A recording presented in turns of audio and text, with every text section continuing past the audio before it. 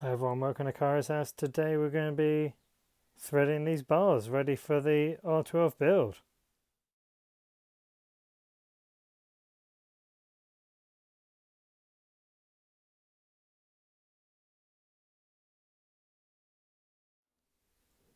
Hi everyone, welcome back. So I've threaded the bars a little bit. Got a 550mm E-tube wire which is going to link the shifters together. I've got a 250mm one which goes to the charging port in the bar end and these are 1700 hydraulic brakes. Connected the shifter off of the bar and then slid it on, did it up, plugged in my two cables and this side I've just threaded my uh, Fisher wire through and we're going to put in a 650 which is going to go from the shifter down to my wireless unit inside the frame. That's basically it. So we're just going to do this one-handed.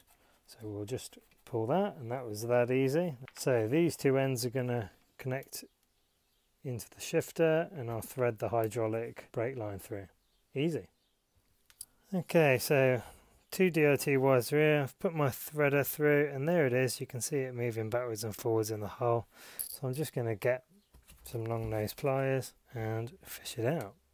So what we'll do is we'll pull that through. So we've got a magnet on the end. That's going to fit here and we've got a little screw thread which screws into the hydraulic hose and then we just pull it through. Hydraulic hoses I'm using are the SMBH59JKSS. Okay, that's screwed into the end ready. We're just going to stick the magnets together, feeding this end, pulling the other end. Hydraulic cable is in and as we can see it's just come out here. There it is screwed in.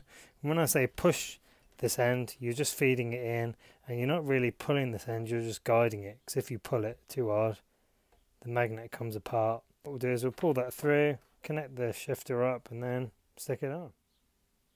So first thing we need to do is drive this needle in Okay, so we're set up in the needle driver. Um, we just screw that down and it'll push the needle in. Needle is now home.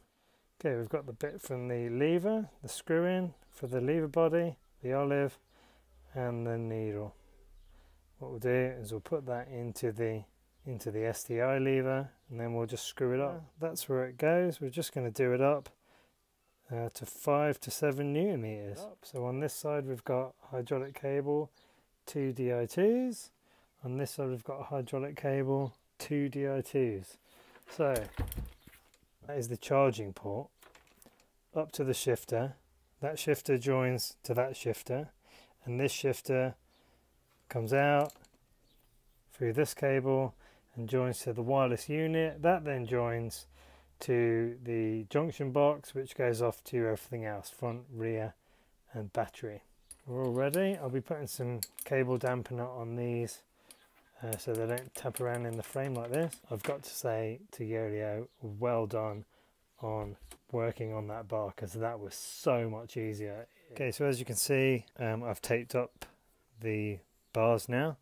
Um, these are ready for the bar tape when I install them on my bike. So we've got in the charging port, we've put in the housing and we've taped it up. We've also taped that that E-tube wire up the bar and we've taped it there so it's got a little bit of a bend so it's not being pulled. The same here on this side and I'll just turn them over so you can have a look.